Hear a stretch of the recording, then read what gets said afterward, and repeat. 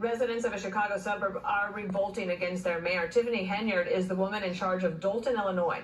But allegations of corruption, assault, and even embezzlement are igniting calls for her resignation. A former employee suing Henyard for